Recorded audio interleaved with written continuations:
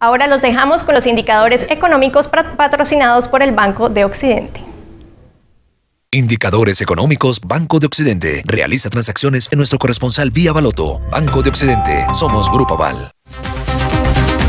La tasa representativa del mercado bajó. Hoy se cotiza a 2.906 pesos con 78 centavos. La venta del dólar en casas de cambio bajó. Hoy se cotiza a 2.874 pesos y se compra en 2.710 pesos.